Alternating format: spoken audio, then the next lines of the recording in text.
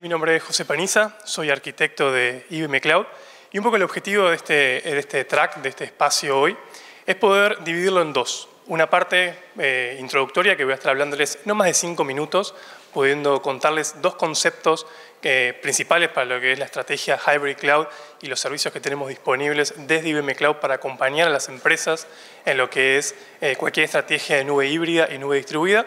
Y en el segundo track, que es el resto del tiempo que tenemos disponible, vamos a tener un invitado eh, que va a participar, que va a subirse con nosotros al escenario y con quien vamos a poder hablar de cómo ellos hoy están abordando lo que es una gestión de nube híbrida y una gestión multinube dentro de lo que es su organización. Entonces, el primer concepto del que yo quiero hablarles es IBM Cloud Satellite. Y siempre me gusta comenzar con este slide. Nosotros hoy, cuando utilizamos cualquier nube y utilizamos cualquier servicio de nube pública, una de las principales características que tenemos es que a la hora de utilizar ese servicio, nosotros debemos seleccionar una infraestructura de ese proveedor de nube donde desplegarlo. Por ejemplo, recién veníamos hablando de OpenShift, ¿no? Entonces, por ejemplo, si nosotros quisiésemos un OpenShift gestionado, gestionado por la nube, deberíamos, en el caso de IBM Cloud, elegir algunas de estas regiones o, por ejemplo, algunas otras ubicaciones de IBM Cloud disponibles. Ahora, ¿qué pasa si lo que nosotros buscamos es poder disponibilizar ese mismo servicio que nos proporciona IBM Cloud de un OpenShift gestionado, pero no queremos decirle a IBM Cloud, quiero desplegarlo en tu infraestructura en Sao Paulo, o en Dallas, o en Washington.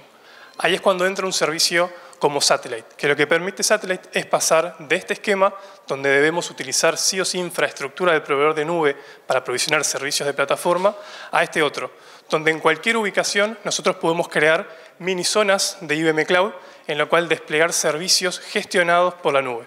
Ese mismo servicio, por ejemplo, el de OpenShift que nosotros aprovisionaríamos en Sao Paulo o en Dallas, nosotros podemos decirle a IBM Cloud, mira, quiero OpenShift, lo quiero gestionado, pero no lo quiero en tu infraestructura.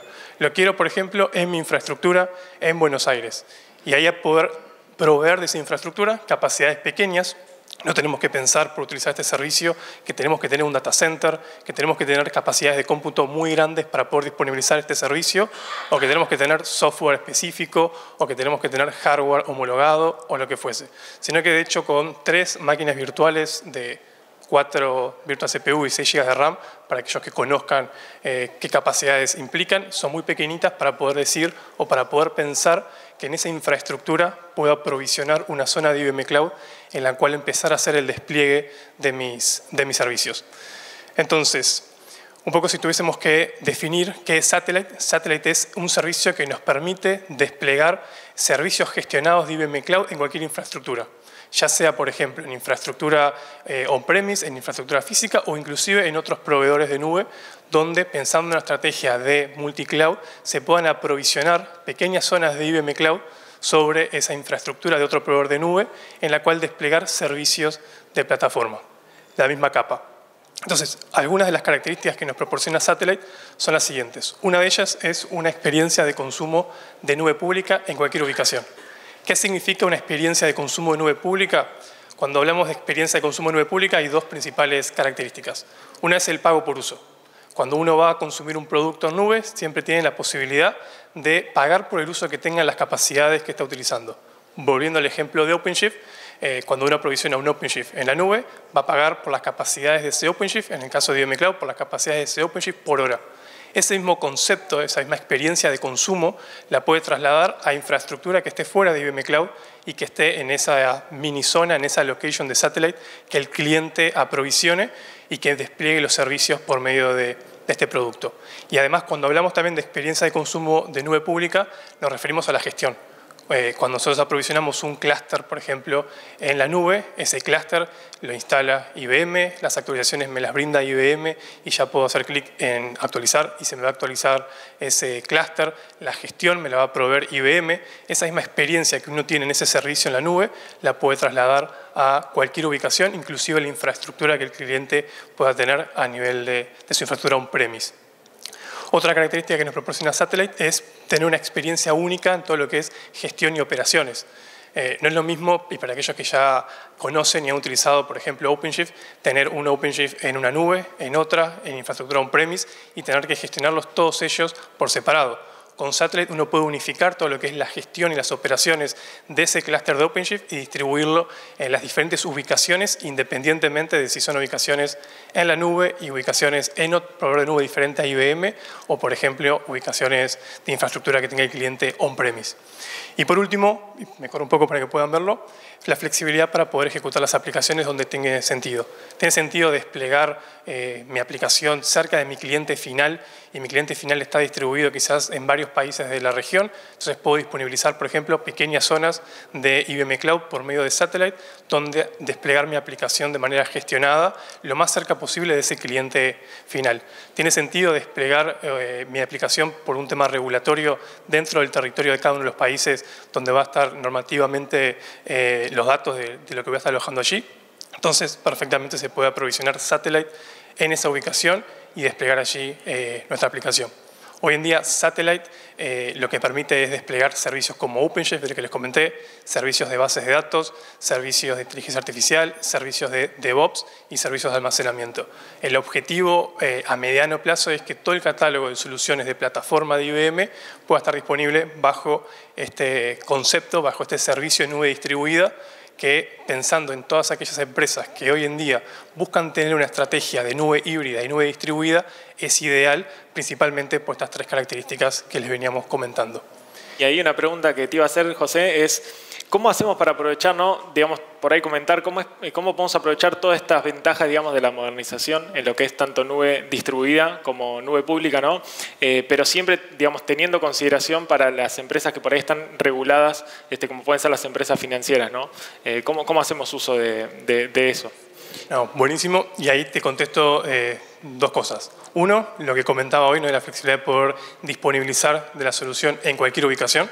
Por ejemplo, pensando en si existiese alguna regulación que te obliga a tener tus cargas en algún sitio en particular. Y lo otro es lo que quería venir a hablarles ahora, que es del framework IBM Cloud for Financial Services. Hoy en día IBM Cloud eh, pensando en lo que es la industria financiera como una de las principales industrias eh, y una de las primeras industrias en las cuales se genera lo que es este framework, lo que hizo fue desarrollar todo un catálogo de soluciones pensadas para que las empresas del sector financiero puedan tener una plataforma que, cuyas cargas, ¿no? cuyas cargas donde puedan disponibilizar su aplicación estén alineadas al cumplimiento regulatorio de la industria. Entonces, por ejemplo, con el Framework de Financial Services, las empresas pueden acceder a un Compliance Center, se llama, que es un panel de monitoreo que permite evidenciar el cumplimiento normativo que las empresas tienen en base a toda la arquitectura y en base a las cargas de trabajo para poder justamente evidenciar los diferentes controles normativos que existen a nivel mundial y también controles normativos que pueden existir a nivel de diferentes industrias y a nivel también de los diferentes países e incluso de las mismas eh, industrias financieras. Cada industria puede tener su propio control, su propia definición de estándares, puede encargarlos dentro de lo que es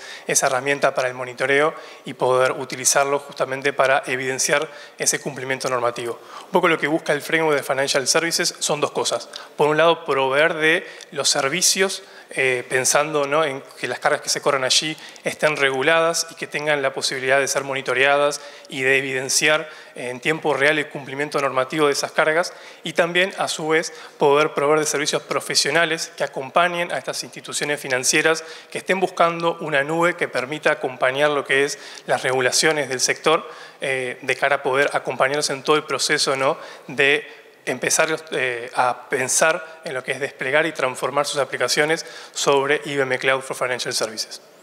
Un poco, y me pasé de los minutos que estaba pensando, pero un poco la idea era hacer esta introducción bien breve a dos conceptos. ¿no? Por un lado, el de Satellite como concepto de servicio que permite disponibilizar servicios de plataforma gestionados en cualquier ubicación, ya sea infraestructura on-premise de los clientes, ya sea infraestructura de otros proveedores de nube, eh, con el fin de poder, por ejemplo, tener una experiencia de nube en cualquier sitio, eh, con el fin, por ejemplo, también de poder unificar lo que es toda la gestión y las, operaciones de esas cargas que se estén disponibilizando en los diferentes entornos. Y por último, con el fin de poder ejecutar esas cargas donde tengan sentido y lo más cerca, por ejemplo, de los clientes finales. Y por otro lado, el servicio, o en realidad el framework de IBM Cloud for Financial Services, pensando en la industria financiera y en poder acompañar a los clientes de este sector en lo que es todo lo que tiene que ver con las regulaciones que tiene y poder... Eh, tener, tener las herramientas para poder evidenciar el cumplimiento normativo con los más altos estándares a nivel de seguridad y a nivel de regulación de datos.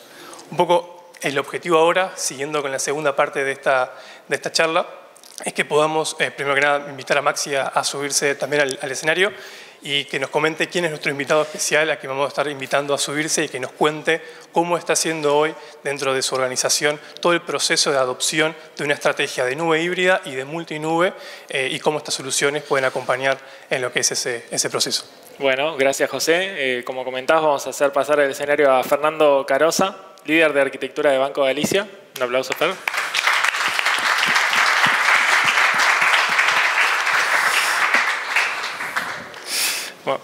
Nos salvamos otra vez. Eh, bueno, eh, Fernando, como mencionamos, líder de arquitectura de Banco Galicia, un poco la idea es que él nos pueda comentar cuál es la estrategia del banco, una empresa que está regulada justamente este, por estar dentro de todo lo que es el, marco financiero y cómo nosotros podemos eh, digamos, ayudarlos a trabajar juntos para que puedan llevar esa estrategia adelante de aquí a los próximos años. Así que, Fer, gracias por, por estar. Contanos un poquito más de, qué es lo que haces dentro del banco. ¿Se escucha, no? Sí, perfecto. perfecto. Bueno, ¿qué tal? Eh, mi nombre es Fernando Carosa, soy el líder del dominio de arquitectura cloud del banco. Eh, y trabajamos dentro de la gerencia de arquitectura del Banco Galicia, promoviendo y llevando adelante iniciativas que tienen que ver con el desarrollo de todo el modelo multicloud del banco. ¿no? Es decir, un poco es el desarrollo de este, de este escenario y la extensión de todo nuestro servicio de data center hacia las nubes públicas. Excelente. ¿Y cuánto hace Fer que comenzaron con toda esta estrategia de, nube, no? Eh, yo hace tres años y medio más o menos que trabajo en el banco eh, y empezamos a desarrollar esta estrategia cuando ingresé al equipo. Eh, pero bueno, la, estrategia cloud del banco empezó ya por 2018-2019 con un proceso de transformación digital donde el banco se va estructurando en, una serie de equipos eh, distribuidos en squad y en tribus para, apoyar todo el modelo ágil. Eh, esto fue 2018-2019. Eh, una de las primeras iniciativas fue empezar a desplegar las capacidades para desarrollar microservicios, justamente en OpenShift. tenemos una plataforma de microservicios on-premise y bueno, empezaron a, desarrollar todo un esquema de, desarrollo Cloud Native y Cloud Ready, pensando en que esta estructura de microservicios el día de mañana puede empezar a, extenderse y escalar a otras plataformas. Perfecto. Y, hay una pregunta, a mí me parece súper interesante que les comentes cómo fue su camino ¿no? hacia la nube. Ustedes decidieron quizá en vez de empezar directamente ya a probar en directamente en, las diferentes nubes o plataformas, hacer por ahí el camino este, paso a paso y ir haciendo como un desembarco en cada una de las nubes. ¿no? ¿Cómo, fue eso? Sí. Eh, el foco o el objetivo es eh, establecer las bases fundacionales dentro de lo que es eh, las nubes públicas pero también pensando en el objetivo de transformar el modelo de desarrollo, perdón, de, digamos, de, on-premise en un modelo de, cloud privada, como mencionaban en, la, charla inicial, ¿no? Pero la idea es empezar a, adoptar un nuevo paradigma de, gestión de infraestructura, de recursos, eh, y enfocarse en eh, establecer las bases o los landing zone dentro de cada una de las nubes públicas para que podamos tener esas capacidades habilitadas y que el día de mañana los equipos eh, tengan la posibilidad de desplegar cualquier tipo de servicio o recurso dentro de, las nubes. Y ahí, por ejemplo, contanos cuáles han sido los principales desafíos que se han enfrentado en lo que es eh, empezar a implementar y a trabajar en este tipo de estrategias. Eh, bueno, es decir, implementar una estrategia multicloud tiene un gran desafío con el modelo operativo, es decir, reducir la complejidad y la especificidad que tiene cada plataforma para, administrarla requiere adoptar herramientas que, nos ayudan a la gestión multicloud. por supuesto, toda la parte del, desarrollo de un proceso de FinOps, el proceso financiero, que hasta donde nosotros conocíamos el modelo tradicional estaba basado en inversiones y en gastos, pero, pero con un capacity planning muy, muy tradicional. Hoy en día las plataformas requieren eh, otro, otro nivel de pensamiento a la hora de provisionar servicios, más on demand, digamos, más creciendo sobre, sobre lo ajustado. Eh, y bueno, un poco también empezar a formar eh, los equipos de trabajo dentro del banco, hacer un reskilling de, las capacidades y los, de los equipos. Eh, actualmente estamos conformando un COE Cloud que nos va a ayudar a, operar y a gobernar todas estas infraestructuras. y bueno, y, por ahí también otro de los grandes desafíos es empezar a disponibilizar todos estos servicios dentro de la organización mediante un, mediante un concepto de autogestión en donde los equipos puedan más ágilmente disponibilizarse los recursos y, tenerlos disponibles. Entonces, eh, y por supuesto empezar a desarrollar todo un modelo eh, documentado y estandarizado con la marca Galicia para que el día de mañana eh, tengamos las herramientas suficientes para que los equipos puedan evaluar y tener ese motor de decisión que los ayude a entender cómo distribuir las cargas en las distintas nubes. Eh, excelente. Y ahí creo que está bueno también comentar un poco, eh, digamos, cómo ustedes van manteniéndose en constante evolución, porque Banco Galicia ha sido, digamos, pionero también en un montón de, puntos de lo que es transformación digital. Entonces, ¿cómo mantienen ese cambio constante y esa evolución constante por ahí en una industria tan regulada como es la financiera? Sí, em, el tema de la regulación eh, es un tema que, le ponemos mucho, mucho esfuerzo para, entender cómo complementarlas. Eh, lo cierto es que trabajando de cerca con las marcas y con los proveedores podemos asegurarnos que, cumplen con, las regulaciones internacionales o las impuestas localmente. Eh, pero un tema fundamental, por ejemplo, dentro de las regulaciones, eh, dentro del rubro financiero, es, por ejemplo, las cuestiones de seguridad, las cuestiones de, protección de datos personales, o, por ejemplo, eh, cuestiones más de lo que tiene que ver con eh, los planes de contingencia. Eh, me parece que ahí hay que entender muy bien cómo las plataformas ofrecen ese tipo de servicios y adecuarlas a, a las normativas.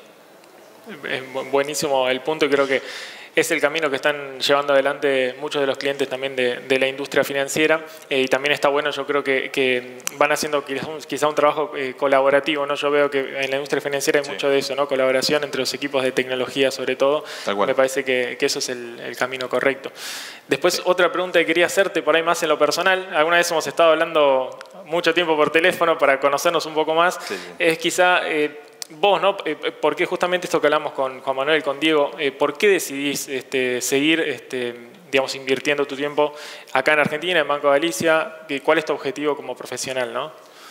Em, bueno, yo creo que si yo pasé por un proceso también de, digamos, de, de rearmado en cuanto a lo profesional. Em, siempre estuve del lado de la operación, del lado de infraestructura y del lado de la tecnología, hoy me toca más estar del lado de la arquitectura y, hoy la visión es un poco más cross, ¿no? es decir, por ahí nosotros de arquitectura vemos más el punta a punta y podemos capitalizar todo ese, toda esa experiencia dentro de la, de la organización. Em, yo creo que dentro del banco hoy en día hay una gran oportunidad porque eh, estamos en contacto de herramientas que son world class, eh, estamos en contacto de proveedores eh, como IBM, digamos, tenemos muchas cercanías con los principales proveedores de tecnología y podemos aprovechar mucho las mejores recomendaciones que nos hacen y, la verdad que capitalizamos todo ese, eh, esa interacción y esa cercanía para, para seguir desarrollándonos profesionalmente y, aprender digamos, en el nivel de, evolución y el nivel de, aceleración que tiene este tipo de, tecnología. ¿no? Es decir, cada vez nos demandan más cosas y eh, me parece que, es interesante digamos, trabajar en una empresa que, apuesta y que invierte en, tecnología y que después da sus frutos y, vemos su resultado final en, los clientes, ¿no? que en definitiva son... Cada vez más exigentes. Sí, tal cual. ¿Y, cómo van, ahí viene la otra, la última pregunta, ¿no? quizá por el tema del tiempo? ¿Cómo, ¿Cómo, ustedes van cumpliendo con las exigencias ¿no? que les plantean los clientes que se van dando digamos, en lo que es la evolución de, natural del mercado? Y también cómo ves o cuál es tu visión de arquitectura ¿no? para de acá a cuatro o cinco años para lo que es eh, Banco Galicia.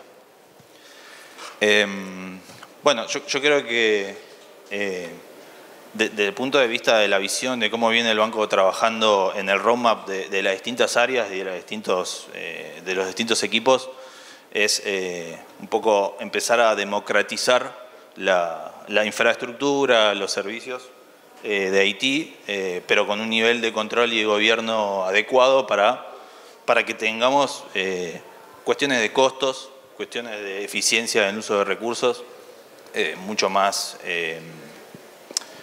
digamos, mucho más controlados a nivel global dentro de la organización. Excelente, excelente. Ahí me gustaría hacerte una pregunta más, Fernando. Si vos comentabas de que habían comenzado con este proceso ya en el 2019 más o menos, y es un camino largo en el cual ustedes lo vienen recorriendo y todavía les queda bastante para recorrer, pero ¿qué mensaje o qué recomendación le podrías dar a aquellas empresas que hoy no están tan avanzadas en ese proceso como están ustedes? Eh, más que nada pensando en ¿Cómo vos recomendás inicializar este proceso para aquellas empresas que recién hoy capaz que están empezando a lo que es plantearse y dice una estrategia ¿no? Eh, de nube multicloud, nube híbrida, eh, para lo que es sus organizaciones? Eh, yo creo que inicialmente hay que tomarse el tiempo suficiente para, para analizar y diseñar lo que uno espera dentro de esa plataforma. Es decir, nosotros estamos trabajando justamente con con ustedes eh, y con el framework de Financial Services, eh, apoyándonos en relevar cómo estamos hoy en día dentro de la organización. Eh, y creo que hay que tomarse el tiempo suficiente para definir cuestiones que parecen muy triviales, pero que a veces a la larga ayudan muchísimo, como puede ser una, una nomenclatura, como puede ser una definición de redes, de conectividad, de seguridad, qué estándares vamos a adoptar. Eh, documentar muy bien todas esas definiciones y, la gran recomendación por ahí es que estén abiertos a, eh, a que esas definiciones son más cortoplacistas que las que tomábamos anteriormente. ¿no? Es decir, la misma evolución de las plataformas lleva a que eh, estas definiciones las tengamos que ir rearmando sobre el tiempo y que tienen que ser por ahí decisiones que uno toma más bien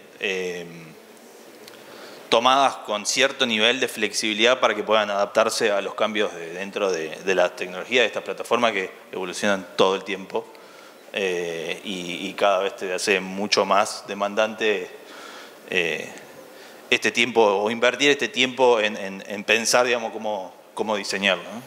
Eh, me parece que, y bueno, el otro tema es hacer un cambio de mindset, digamos, importante eh, y estar abierto a realizar pruebas de conceptos, entender cómo, cómo funcionan las tecnologías y cómo eso dentro del contexto de la organización donde uno trabaja se puede aplicar. ¿no? Es decir, creo que no hay una, no hay una receta o, o una sola versión de cómo uno puede adoptar, por ejemplo, IBM Cloud, eh, sino que es 100% adaptable al contexto de cada, un, de cada organización. Y de cada país. En lo técnico, en lo organizacional, en lo administrativo en todo sentido, digamos. ¿no? Entonces, por ahí eh, creo que una, estableciendo esas bases fundacionales, eh, eh, me parece que uno puede luego escalar mucho más fácil. Bueno, Fer, yo te quiero agradecer personalmente por haber participado de la charla. La verdad fue súper productivo y también estuvo buenísimo que le cuentes el caso de referencia a la gente. Eh, de nuevo, confíen en nosotros para lo que necesiten. Lo vamos a acompañar, este, sea, sea cual sea su decisión a proveer de tecnología, siempre lo vamos a estar acompañando para que tratar, digamos, de estar ahí este, para lo que necesiten. Así que, gracias. No, gracias a ustedes por la, por la invitación.